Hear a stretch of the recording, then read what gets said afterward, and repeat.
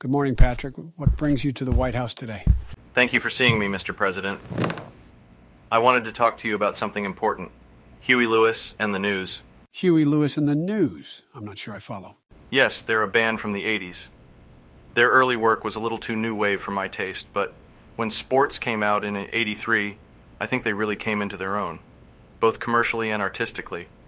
The whole album has a clear, crisp sound and a new sheen of consummate professionalism that really gives the songs a big boost. Uh, okay.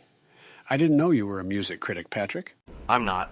I just really appreciate their work. I mean, Hip to Be Square is not only a great song, but it also has a message about conformity and the importance of fitting in.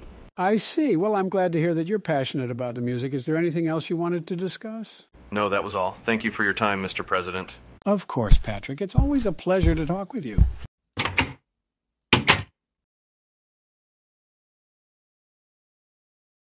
I see. Well, I'm glad to hear that you're passionate about music. Is there anything else you wanted to discuss?